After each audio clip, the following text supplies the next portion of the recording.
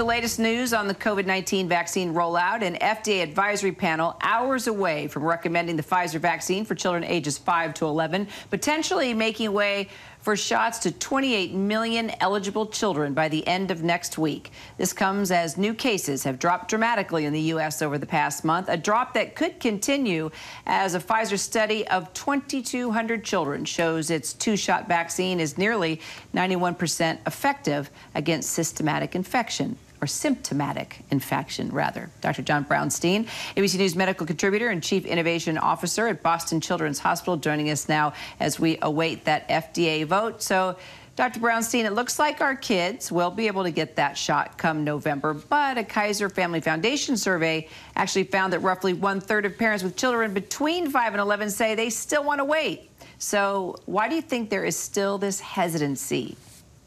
Yeah, you know, I, am watching this FDA committee discussion, and obviously it looks like they're heading towards this place of authorizing this vaccine in our younger kids. But, you know, the risk calculation in kids is different. You know, we know that vaccine confidence goes down as you go into younger age groups. You know, there's this concern that parents just don't see the impact of COVID in kids, despite the fact that we know that COVID is actually a top 10 leading cause of death in kids. Um, there's also this view that these vaccines are too new and not enough testing. And again, remember, these are the most studied vaccines ever produced. Half the planet has gotten these vaccines. And, you know, we've already had 50 million kids in this country getting this, this shot without any severe impact. And so, you know, you have this, this concern about lack of trust in the government and like listening to you know rumors on facebook. So there's a lot of sort of competing issues that are, are, are, creating this hesitancy. But like we have to do you know like we've done the entire pandemic we just have to keep following the science. Listen to your pediatrician not to those rumors on social media. And for me i have a 10 year old i'm planning to get them vaccinated as soon as as they're available for them, for my daughter you bet. Can't, can't wait for those vaccinations to be approved, Doctor. That's one side of the equation, is persuading parents who, as you say, uh, because children are different, you know, have justifiable uh, hesitancy in, in approaching things like this. But as you also say, it's just, it's been tested throughout the world right now. Look at the other side. Look at the impact of vaccinating these children, this age group, on the pandemic itself. How do you read that? You know, we're in the winter months. You know, we have concerns about new variants and now we have 28 million kids that could be eligible for the vaccine.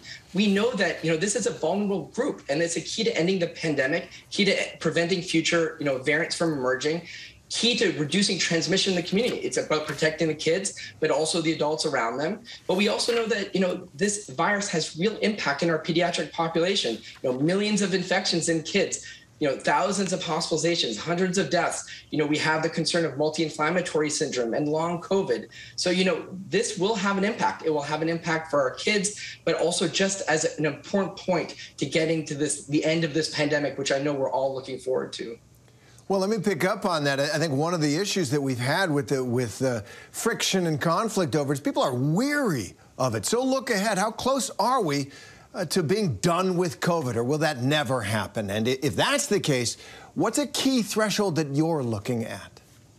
You know, Terry, this is a tough one because, you know, we've been speaking about this for months. You know, this virus is here to stay. It's endemic. It's not going anywhere. And so we do have to sort of come to reality that, you know, this virus is going to be circulating, but we're going to live with it in a different way. And I think everyone wants sort of an off ramp, an off ramp for masking and social distancing. And, you know, there are metrics that we can use in terms of, you know, five cases per 100,000 or percent infectivity. But the most important thing is to look at hospitalizations and deaths. And if we reduce transmission, we can effectively get you know the impact on our health systems down. And that's important. You know in other countries what we've seen with effective vaccine rollout a decoupling. You know cases might go up but there's no increase in hospitalizations and deaths. That's what we want to see here. We're getting there but we're not quite. But i think you know COVID will be endemic. We may have to have boosters in the future, but I do think, you know, in the coming uh, months, we have a world without masking, without social distancing, and you know, really approaching that normal life that we've been all longing for. Oh, that's light at the end of the tunnel, Dr. John Brownstein. Thanks very much for your time and your insights, as always. Hi, everyone. George Stephanopoulos here. Thanks for checking out the ABC News YouTube channel. If you'd like to get more videos, show highlights, and watch live event coverage, click on the right over here to subscribe to our channel. And don't forget to download the ABC News app for breaking news alerts. Thanks for watching.